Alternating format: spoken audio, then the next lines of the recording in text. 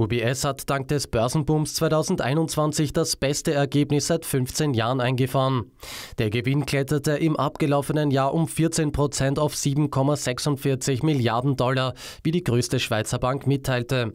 Hätte das Institut nicht weitere 740 Millionen Dollar für ein in Frankreich laufendes Steuerverfahren zurückgestellt, wäre das Ergebnis noch besser ausgefallen. Die UBS übertraf mit dem Abschluss auch die selbstgesetzte Messlatte. Konzernchef Ralf Hammers verordnet dem Bankhaus nun ehrgeizigere Ziele.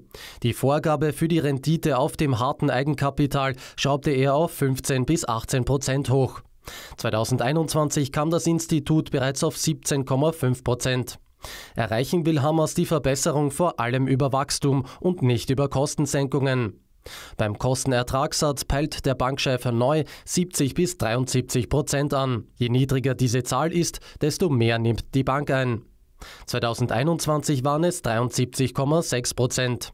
Der Weltmarktführer in der Vermögensverwaltung für Millionäre und Milliardäre profitierte dabei weiterhin von den Portfolioumschichtungen seiner Kunden und steigenden Kursen an den Finanzmärkten.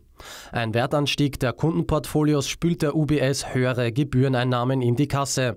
Mit dem guten Geschäftsverlauf ist die UBS nicht alleine. Die Deutsche Bank fuhr trotz hoher Kosten für den laufenden Konzernumbau das beste Ergebnis seit zehn Jahren ein. Auch Wall Street-Institute wie Morgan Stanley, Goldman Sachs oder JP Morgan profitierten vom anhaltenden Fusionsfieber.